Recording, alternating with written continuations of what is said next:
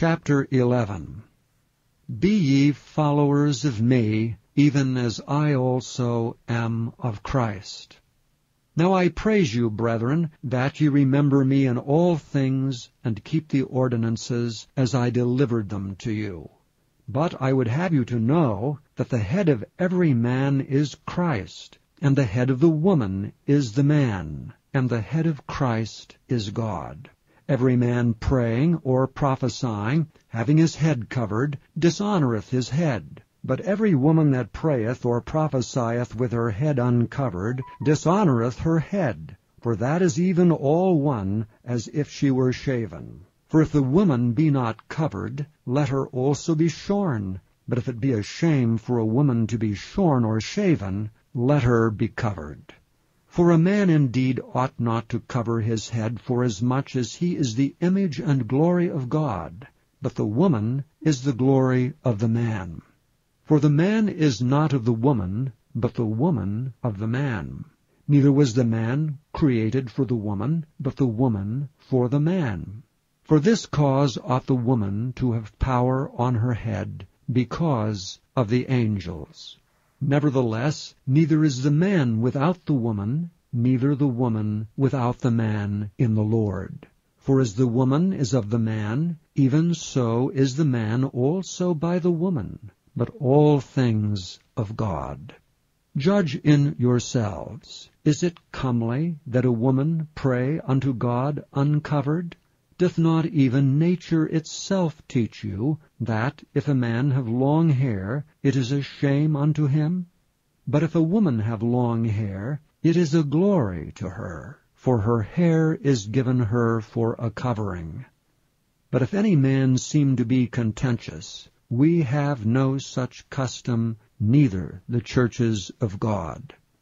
Now in this that I declare unto you, I praise you not, that ye come together not for the better, but for the worse. For first of all, when you come together in the church, I hear there be divisions among you, and I partly believe it. For there must be also heresies among you, that they which are approved may be made manifest among you.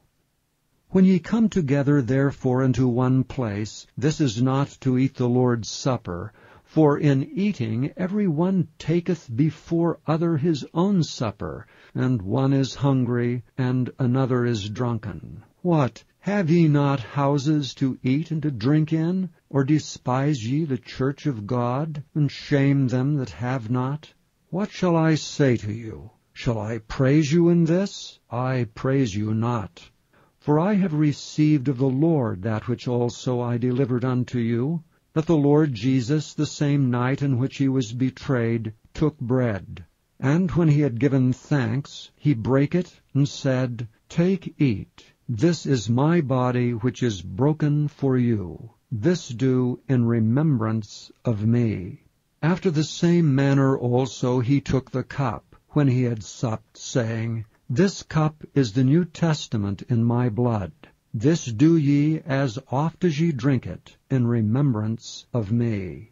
For as often as ye eat this bread, and drink this cup, ye do show the Lord's death till he come.